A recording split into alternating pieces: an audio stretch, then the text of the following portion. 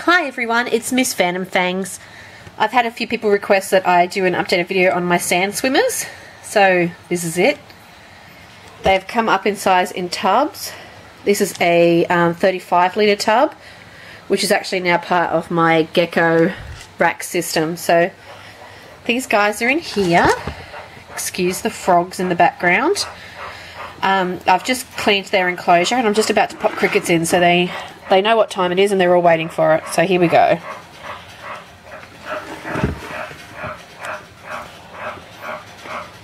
You can hear the crickets going off in the in the uh, the frogs going off in the background because they want some crickets too.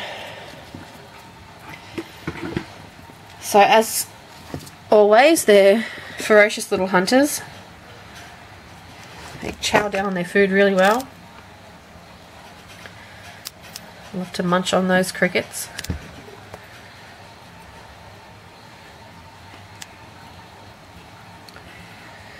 Uh, these guys have been doing exceptionally well in here. I haven't had anyone picking on anyone, so that's a bonus because I was told to look out for that because it is it can be common when you're keeping a group of them together. But so far, so good. Everyone is happy. Everyone lives pretty harmoniously. And I've got Samuel the Sphynx cat here watching what's going on. So as long as he looks and doesn't touch. So they have grown a fair bit from when I first got them. Uh, here's my hand for comparison. So they have grown.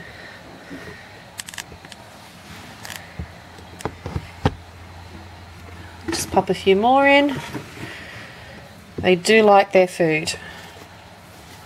I'm just putting in uh, calcium dusted crickets at the moment.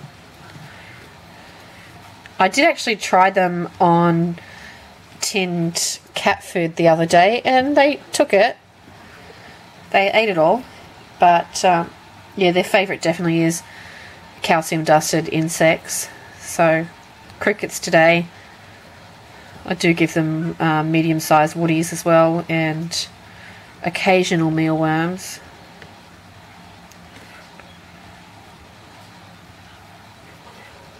Got this one here.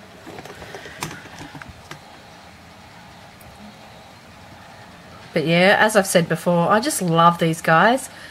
They're so active and they're so fun to watch. They don't mess around when it comes to food time. And they're quite social too.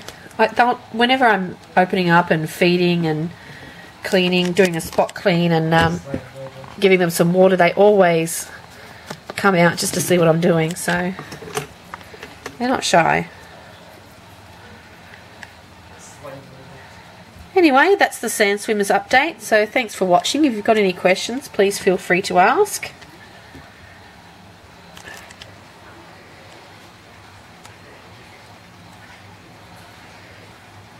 Alright guys, thanks for watching.